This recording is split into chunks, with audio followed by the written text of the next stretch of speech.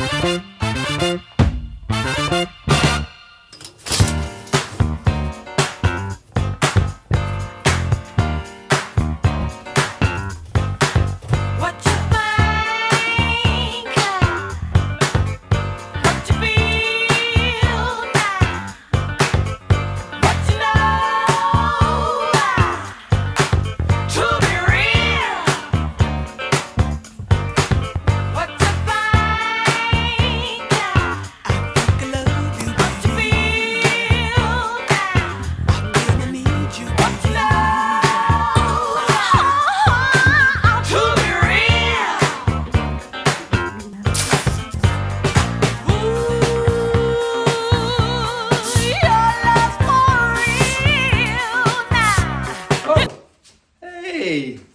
going?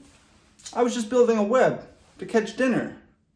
You see, I have a date tonight, and my date loves drinking the blood of flies and mosquitoes. You want to see a picture of her? Okay, I don't usually do this, but come on. Here she is. Excuse me? Disgusting? How dare you? I mean, I know she looks a little different, but it's it's what's on the inside that matters. And guess what? On the inside of her is not a skeleton, because that's on the outside. That's called an exoskeleton. Can you imagine walking around with your skeleton on the outside? That's like walking around with armor on all day. Didn't feel a thing. What's that you say? A human can't date an insect? Mm-mm-mm-mm. Well, you're wrong. Insects have six legs. Spiders have eight. That classifies it as an arachnid. Listen, I'm sorry I lost my temper with you. It's just that I've been stuck inside. I haven't seen any humans, hanging out with insects, feeling this uh, isolation thing. Now that I've got to know a lot of spiders, uh, I kind of really like them. I mean, did you know that spiders have four pairs of eyes? Boom, boom, boom, boom. And when each one of those pairs looks at me, hmm, just melts my heart. Spiders still not fancy enough for you? Think again. They can produce their own silk. They use it to build webs. They use it to travel. Use it to build these little cocoons that protect their eggs. And guess what? Female spiders are way bigger than their male counterparts. And I, for one, am not intimidated by a strong female. Girl power!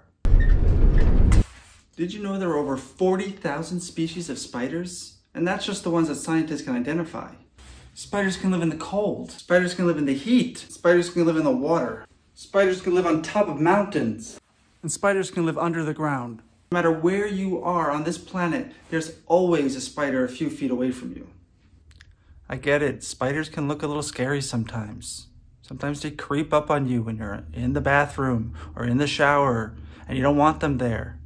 Okay, it's a little off putting, but spiders are more scared of you than you are of them. Spiders are useful. When's the last time you said thank you to a spider for catching flies and mosquitoes inside your house? I think you owe Spinderella an apology. I'll wait. Okay, challenge time. Grab some tape, or some string, or some sheets or socks, or whatever you got, and get creative. Build a spiderweb that is strong enough to hold something or catch something. Share it with the spiders in your house and see if they are impressed. I bet they'll appreciate being noticed. If you do build a web, make sure you send me a picture. Send it to this email right here. And don't forget to check out our school webpage for other cool information and facts. I think Spinderella's here. I'll see you next time.